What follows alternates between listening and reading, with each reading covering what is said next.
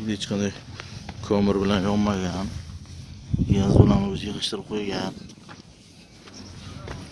Hech qanday ko'mir tiqib yoqadigan joyi yo'q. Majburiy ijro byurosi narpay tuman bo'limi xodimlari tabiiy gazdan noqonuniy foydalanib kelayotgan ikkita ohak sexining qilmishini fosh qildi. Tumanning muqimiy mahallasida joylashgan noturar binoda umumiy foydalanishdagi tabiiy gaz tarmog'iga o'zboshimchalik bilan ulanib olganligini mib inspektorlari payqab qolishdi.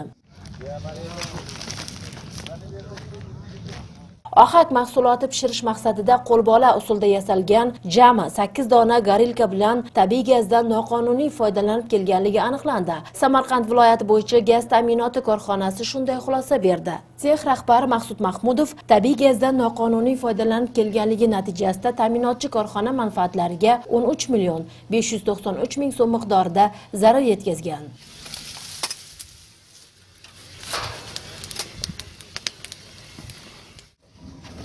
Bu.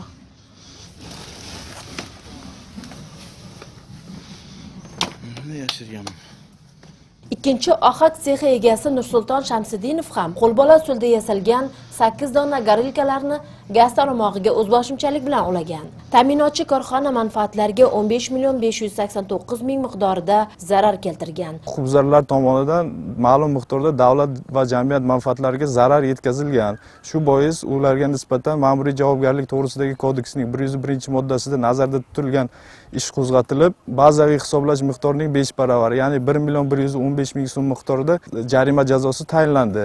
Yetkazilgan zarar miqdori to'liq undirildi. Viloyat bo'yicha e, kuchaytirilgan reyd tadbirlari davom ettirilmoqda. Mo'tabar nurmuhammedova ozodbek nurmuhammedov samarqanddan.